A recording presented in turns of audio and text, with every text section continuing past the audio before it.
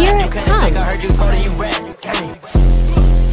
off the leash, told that boy to get lost. I got your bitch favorite song on TikTok. I'm in your house, posted with a big lock. I got a shooter, he looking like Baby Santana. He kinda little with some dreadlocks. Glock 19 with a B match your head top. Full out the AK 47, aiming at you, that's a dead off. And I got a little nigga wondering, like, what is this shit on my head? It's a red dot.